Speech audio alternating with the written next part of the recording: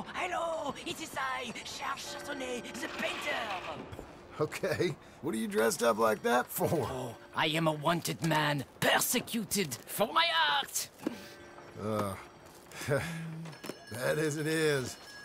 I don't think art is the problem. In Paris, they say leave, go far away. We will never understand you here. I say, I go to Saint-Denis. They say that is not far enough.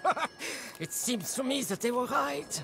But it doesn't matter. Now, I go to South Pacific. They always tell me the light there is perfect for my work. Eh, so long as they weren't just telling you that to get you to the other side of the world. Perhaps. It doesn't matter. Help me get to the next ship. They are watching the port, and I need a chaperone. Okay, come on.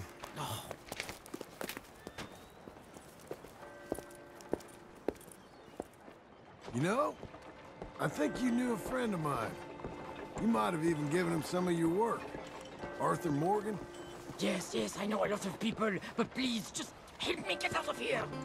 I'll tell you what I want, miss. Civilization.